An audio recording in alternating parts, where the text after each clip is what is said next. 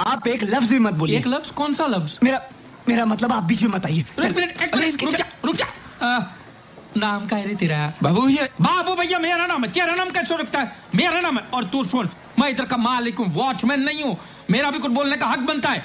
आ, राम। श्याम। अरे तू कोई भी आम हो तू अपना सामान उठा और अंदर जा जा। अगर ये अंदर जाएगा तो मैं घर के बाहर जाऊँगा। कोई बात नहीं तू जा सकता है जा।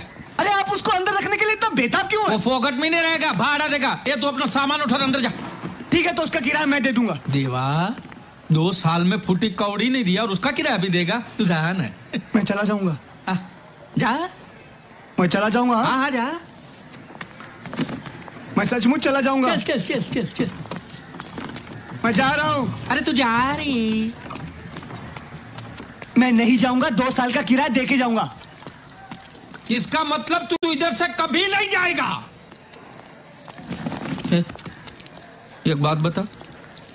तू सचमुच चोर नहीं है ना? नहीं बाबू भैया। हाँ वैसे भी चोर लोग चश्मा नहीं पहनते। केल ये बैठ। थैंक यू अरे नको रे। थैंक यू बैंक नको रे। वो दुकान पे जा और खंबा लेके आ।